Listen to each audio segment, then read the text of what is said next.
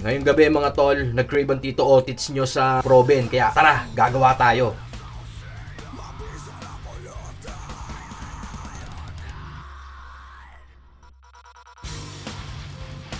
Sobrang linis na niyan, tropa.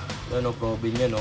Tignan mo naman yung tubig. Diba? Clear na clear na. Naglagay tayo ng minced garlic tropa. Tapos naglagay na rin tayo dyan ng kalamansi. Nagsunod na rin tayo ng pamintang crack at ang pinakapampalasa niya, patis lang tropa.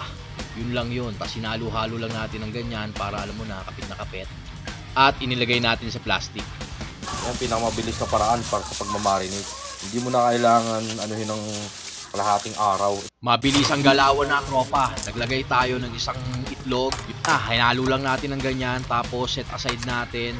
Naghanda naman tayo ng harina at crispy fry na maanghang yung flavor. Yun na, yun na mismo tol. Wala na akong ibang special na pampalasang dinagay. Tapos ang boteng bagong mantika lang. Kasi yan lang. Ibe-breading na natin. Hindi kailangan ng maapal na breading tropa. Dapat ganyan lang. Ipapagpag mo yan para hindi rin agad mangitim yung mantika mo, syempre. At para hindi lasang harina yung proben mo, tropa. Kaya makikita nyo naman kung gaano yung quality ng pagluluto niyan. Di ba? Pwede nyo gawing business yan, yung estilo ng paggawa ko, yung pagluto ko niyan. Sundan nyo lang. Pag naluto nyo at natikman nyo, talagang mabisa. Mas mabisa pa to kaysa dun sa mga nabibili nyo sa mga kanto-kanto nyo. Ha, wala. Bali sa mga recipe ni Tito Otis yan par, di ba? Siyempre, para talaga ramdam ko yung street food na pagkain, tinusok ko pa yan isa-isa. Ganda.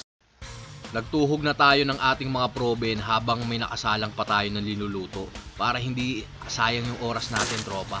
Ganun dapat. At mura lang ang budget niyan. Umabot lang yan ng mga 150 pesos budget pulutan. Yes. Prepare naman tayo ng mabisang suka, tropa. Simple lang naman. Kalamansi, asukal, black pepper. Yes, yes. Pagtapos noon, naglagay na tayo ng maraming sibuyas. Tapos naglagay rin tayo dyan ng sili. Naglagay rin tayo ng suka at lime juice. Siyempre, hindi natin masyadong dinamihan ha. Kasi, aalsa yan mamaya yung ating mga sibuyas. Tapos kumuha na tayo ng pilsen. Kasi solo tagay lang naman ako niyan par. Ano, Kita mo, napakabisa na niya no. Simple lang. Tsaka, hindi siya makunat. Saktong-sakto lang talaga. Malinis pa yung pagkadali ni Tito Otis. Yon mga tropa. Eto na oh, ang bisa niyan. Lalo na to. Siyempre, pilsen muna tayo ngayong gabi. Light solo tagay. Tara, tikman natin. Ito lang nasa unahan, no? Yan, no?